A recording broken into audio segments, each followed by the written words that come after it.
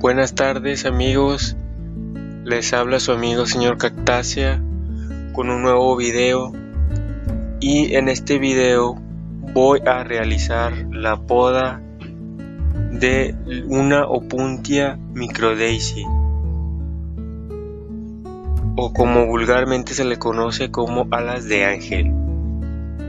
Eh, esta opuntia microdaisy ya lleva un buen tiempo conmigo, ya lleva más de dos años. Y esta puntia micro daisy no es normal, no es como las otras, como las comunes que son más grandes. Esta es como una variedad como pequeña. Y he visto que en algunas en algunas pencas se empiezan a notar arrugadas y también que le están saliendo nuevas pencas. Y hay que eliminar esas pencas que se ven un poco mal, un poco arrugadas y hay que darle para hay que darles beneficio a las nuevas pencas que son estas. Incluso se puede notar la diferencia entre las viejas y las nuevas. Las nuevas están más coloridas y las viejas no están tan, bien, no están tan bien de salud, se notan arrugadas. Así que vamos a hacer una pequeña poda. Esto es para beneficio de la planta. Por ejemplo, aquí si se nota estas pencas ya se notan muy arrugadas, así que hay que eliminar estas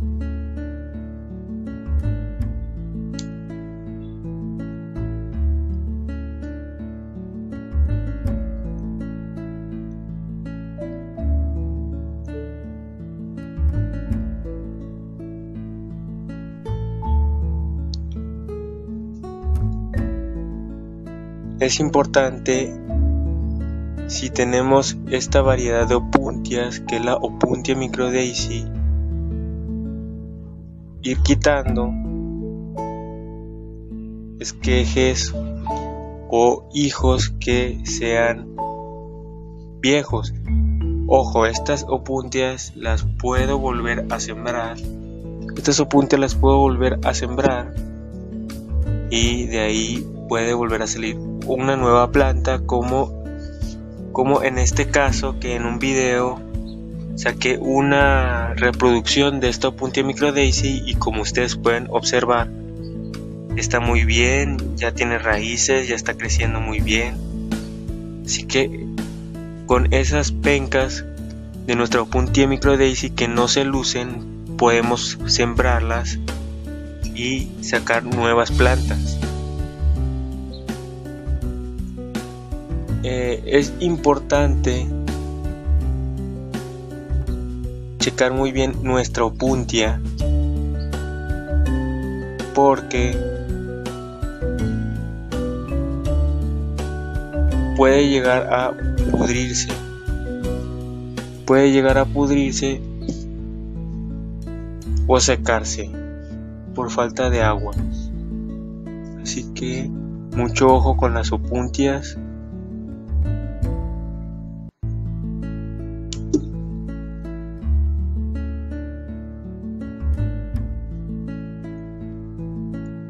podemos ir sacando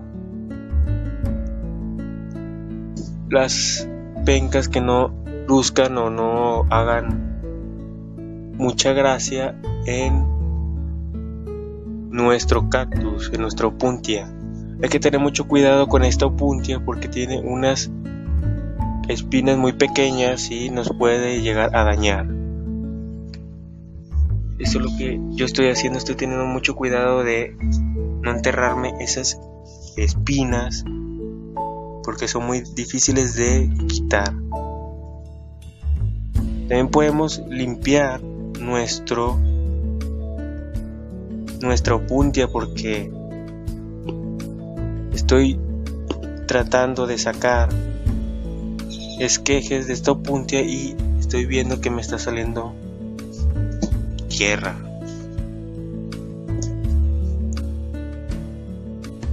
unos meses voy a mostrarles cómo quedó esta puntia después de la poda para que ustedes puedan observar que la poda es un beneficio para la planta.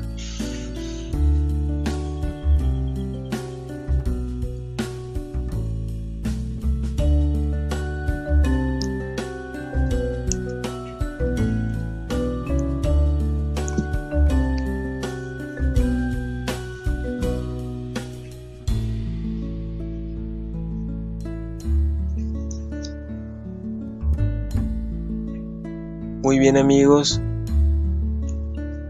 ya creo que ya hemos sacado todos los botes que no son necesarios para esta planta.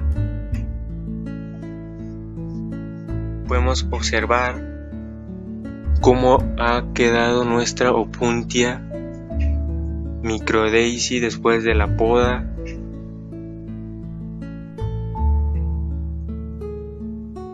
Y acá están los hijos o los esquejes de la opuntia que fueron cortados. Algunos de estos esquejes los voy a sembrar y unos que se noten muy mal los voy a ir eliminando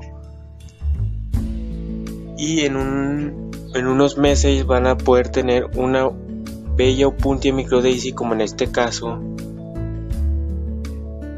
pueden ver.